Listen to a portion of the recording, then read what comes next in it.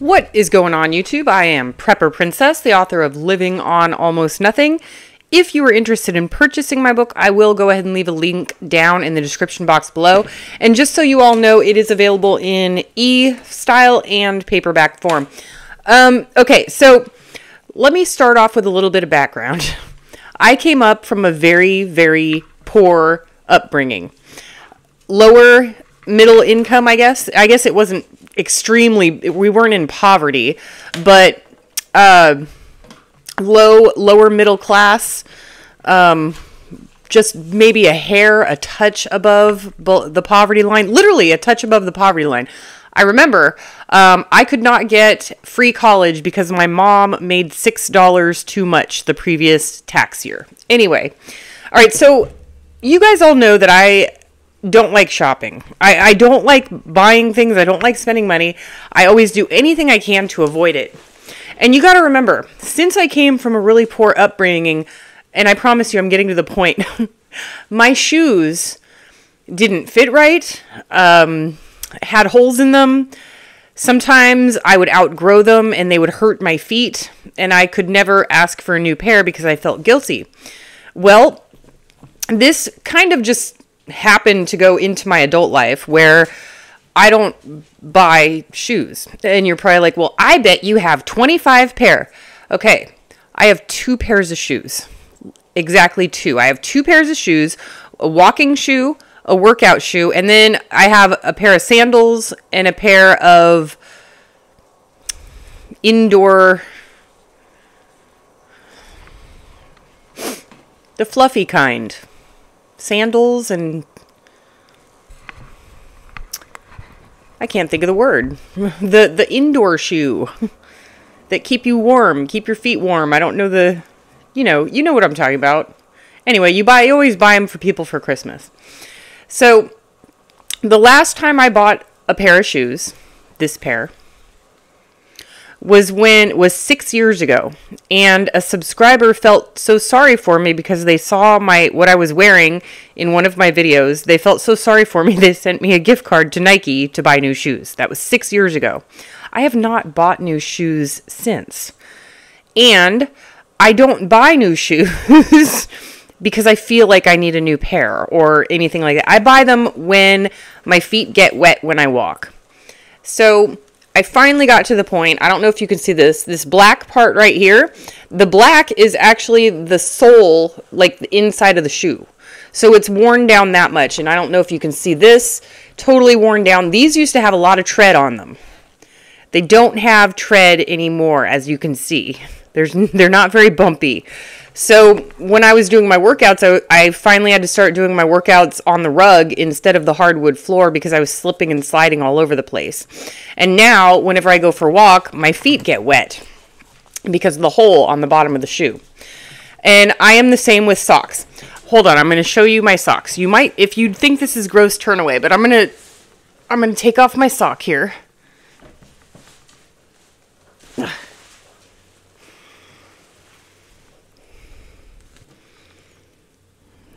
I am ashamed. So, as you can tell, I haven't bought new socks either. And when I do have to buy something, what I'll first do is I'll send out a text or a Facebook marketplace thing saying, Hey, I'm size eight and a half, nine shoe. Uh, do you have anything available in my size that, you know, maybe you're getting ready to throw away? Because I don't care about style. I'm not a style person, I'm a comfort person. So if somebody's got a shoe that they haven't worn or, you know, it didn't fit them right, you know, people tend to keep those and I don't. So, I'll first send send out something like that.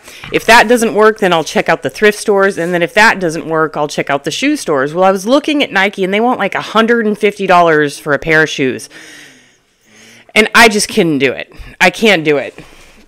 So I went to Walmart to get new socks because you just saw my socks, and I have six pairs of socks, and I I'm completely replacing them. I'm throwing away every pair of socks I have, and I got a six pack of socks.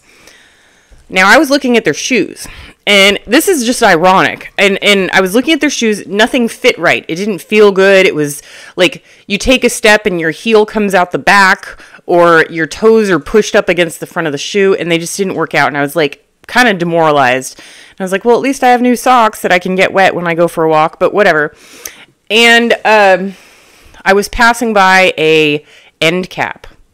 I got so lucky, you guys. I'm going to show you what I got. This is like a shopping haul. okay, hold on. Hold on.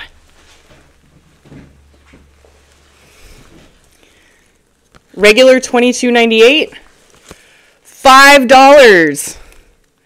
That's even better than a thrift store price. And they're like super light. These are going to be my workout shoes because they have some tread to them. Really nice. So, and they're, you know, they look kind of cool. I, I'm not a fashion person. I don't care. I care about comfort, but five bucks. But wait, there's more. Three dollars. and they're in my size. They fit. When I take a step, the heel doesn't fall off, and my feet or my toes are not scraping the front. These are wide toe shoes. Very, very nice. And then I got a third pair for $3. Now, I get it. They're not exactly Nike, okay? I know they're not Nike, so they're not going to last six years probably. But you never know. You know, I've bought cheap stuff and they've lasted a few years, and I've bought expensive stuff and they haven't lasted years. So I am super excited that I now have three new pairs of shoes. And yes, I am going to throw these away. As of right now, they're going in the garbage. And the ones that I'm wearing right now are also going to go in the garbage. But this is like this you know people talk about being frugal and stuff but i think that this goes a little bit beyond frugality and i'm not talking about money trauma in my childhood i just don't like shopping and i i don't want to say i procrastinate i just put it off as long well i guess that is procrastination i put it off as long as i can until i'm basically forced to replace my shoes because they have a hole in the bottom now actually this this is about to be a hole too. It's you can't really see it, but it's it's pretty deep. And these shoes were loved, very well worn, very much loved. Actually, when I got them, I remember how light they were. And you know, technology is constantly improving and after 6 years, these super light shoes feel kind of heavy right after putting the other ones in my hand for a minute. Those ones are light. Oh yeah. It's like half the weight. This is like nothing. Super nothing. Oh yeah. It's like it's like half the half the weight of these light shoes that were light 5 or 6 years ago. But I'm super excited. So I spent what $11 on three pairs of shoes. So this is something that people who are not only frugal, I we're not cheap but it is like beyond what most frugal people do. And that's just something that I don't want to say I learned it. I didn't learn it. I just, you know, that's how much I don't uh, I don't like shopping. And I, I don't care that much for fashion. I mean, I don't I'm okay. I'm all right with my fashion, but you know, not a big deal to me. I, I'm not the type of person who has to who sees an empty space in my closet and thinks it has to be filled you know, or sees $5 in my bank account and has to spend it. But I feel like I got really, really lucky with this purchase. And it's something that happens, you know, once every six years for me. All right, folks. I don't know if this video has been helpful at all. Um, but you know, check out check out the clearance racks. I, I just passed right by it. I just checked out the clearance rack. I got super lucky. Um, that's what I got for you. Do what you can with what you've got. Prepper Princess out.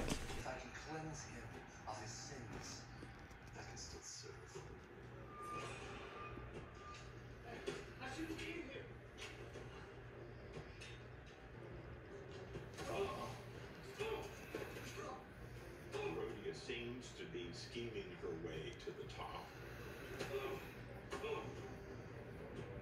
She's prepared to use anything to achieve her ends. John the Baptist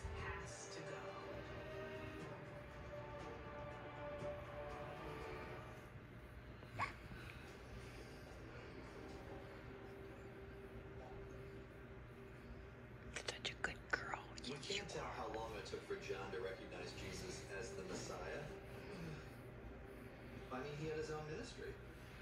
So it was probably hard for him to let go of